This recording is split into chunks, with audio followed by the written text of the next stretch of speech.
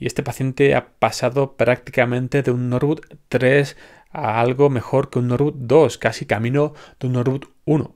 Es que ahora mismo se encuentra con un estado capilar envidiable donde prácticamente es imposible adivinar que esta persona tenga alopecia.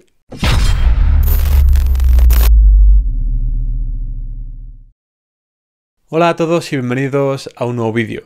En este vídeo veremos los casos de tres pacientes y la evolución con los tratamientos que han seguido para luchar contra la alopecia androgenética.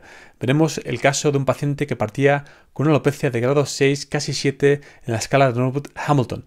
Otro paciente que partía con una alopecia de grado 3 y otro paciente que partía con una alopecia de grado 3A. Y además, uno de estos casos veremos un paciente que utilizó dutasteride, por fin, puesto que muchos de vosotros me pedíais en los comentarios que analizara casos de pacientes que habían utilizado dutasteride en vez de finasteride. Y además veremos dos casos de pacientes bastante jóvenes y uno de estos casos será de un paciente que partía con una edad bastante avanzada. Y sin más dilación, empecemos con el primer caso. En este primer caso veremos la evolución de un paciente que antes de empezar el tratamiento partía con una alopecia de grado 3 en la escala de Norwood-Hamilton y este paciente utilizó 0,5 miligramos al día de eutasteride durante un año.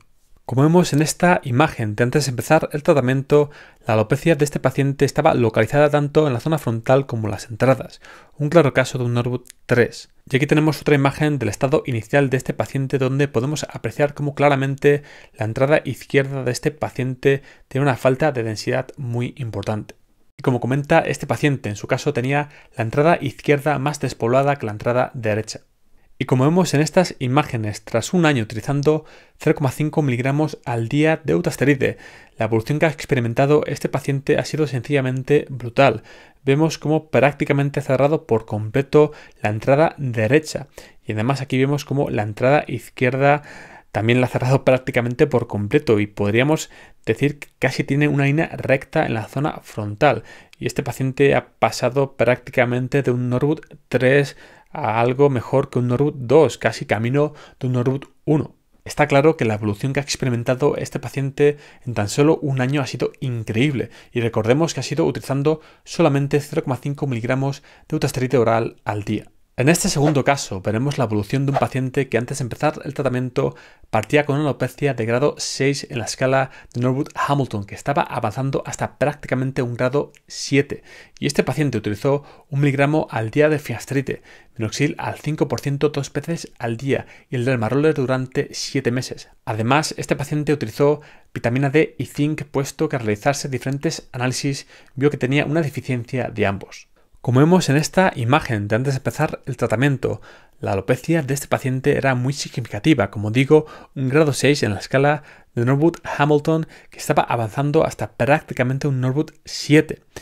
Como vemos en esta siguiente imagen, tras tan solo un mes y medio con el tratamiento, vemos que este paciente se encuentra en pleno shedding y se encuentra con un estado capilar bastante peor que al principio, que ya es decir, puesto que partía, como digo, con una alopecia de grado 6, pero es que ahora mismo las zonas afectadas por la alopecia, donde antes tenía algún que otro pelo terminal, prácticamente están completamente despobladas y se encuentra, como digo, en un estado capilar peor que al principio. Y como vemos aquí, tras cuatro meses con el tratamiento, parece que este paciente ya ha pasado el efecto shedding y se encuentra con un estado capilar mejor que al principio. Vemos como ahora en las zonas afectadas por la alopecia empiezan a aparecer los primeros pelos terminales sanos. Y aquí tenemos el estado del paciente tras cinco meses y medio con el tratamiento. Vemos cómo claramente la evolución de este paciente está siendo muy favorable y vemos cómo todas las zonas afectadas por la alopecia empiezan a aparecer más y más pelos terminales sanos. Y aquí tenemos las últimas imágenes de la evolución de este paciente tras 7 meses con el tratamiento. Y vemos cómo la evolución de este paciente ha sido bastante evidente. Sí que es cierto que este paciente no ha conseguido cerrar del todo las zonas afectadas por la alopecia, pero es que recordemos que partía de prácticamente un Norwood 7, una alopecia muy, muy avanzada.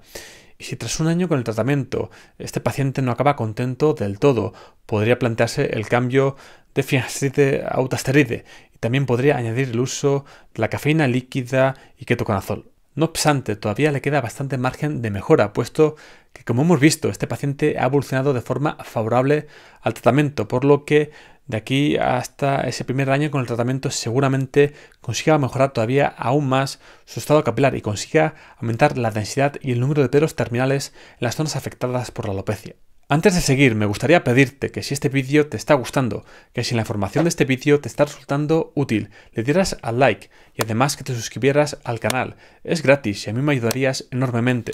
Ayudarías al canal a crecer y a que pudieras seguir subiendo más contenido de calidad. En este tercer caso veremos la evolución de un paciente que antes de empezar el tratamiento tenía 30 años y este paciente partía con una alopecia de grado 3A en la escala de Norwood-Hamilton y además utilizó 1,25 miligramos al día de finasteride durante 6 meses. Como vemos en esta imagen de antes de empezar el tratamiento, la alopecia de este paciente estaba localizada tanto en la zona frontal como en las entradas. Es cierto que quizás la alopecia de este paciente todavía no había llegado a ser un grado 3A en la escala de Norwood-Hamilton, pero claramente estaba avanzando hasta este grado, donde se iba a quedar con la zona frontal y la parte media de la cabeza prácticamente despobladas.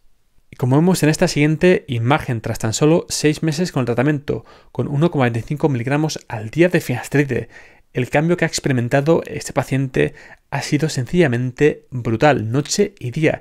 Es que ahora mismo se encuentra con un estado capilar envidiable, donde prácticamente es imposible adivinar que esta persona tenga alopecia. Y me gustaría que te quedases de este vídeo con dos ideas claras. La primera es que si solamente vas a utilizar un compuesto para tratar tu alopecia, que sea bien finasteride o utasteride, puesto que estos tratamientos serán los que mejor te ayuden a tratar tu alopecia pero por otro lado lo más recomendable sería combinar estos dos compuestos con minoxil, puesto que sabemos que la combinación de finasteride con minoxil presenta mejores resultados que solamente utilizar finasteride. Además sabemos que la combinación de finasteride y ketoconazol presenta mejores resultados que solamente utilizar finasteride. No obstante, también sabemos que la combinación de finasteride y minoxil es más efectiva que la combinación de finasteride y ketoconazol. Y evidentemente el primer y el último caso que hemos visto en este vídeo son el fiel reflejo de que si solamente vas a utilizar un compuesto para tratar tu alopecia, este debería ser o bien finasteride o utasteride. Recuerda que si tienes alopecia androgénica, solamente los tratamientos antiandrógenos serán capaces de detener el avance de tu alopecia. Y en este sentido, las mejores opciones que tienes son finasteride y utasteride. Y la segunda idea con la que quiero que te quedes de este vídeo es que el tratamiento con finasteride y minoxidil es efectivo incluso en personas de edad avanzada con alopecias muy significativas. Si quieres compartir tu caso en el canal es muy sencillo, simplemente haz clic en el link que te dejaré en la descripción del vídeo. Este link te llevará a una página donde deberás rellenar tus datos y además deberás añadir fotos de por lo menos los primeros tres meses de la evolución con tu tratamiento. Además deberás indicarme qué tratamiento has seguido. Y antes de que te vayas, si quieres saber qué es lo que dice la ciencia al respecto de si finasteride podría ser efectivo o no para hacer crecer pelo tanto en la zona frontal como en las entradas, tienes que ver este vídeo de aquí.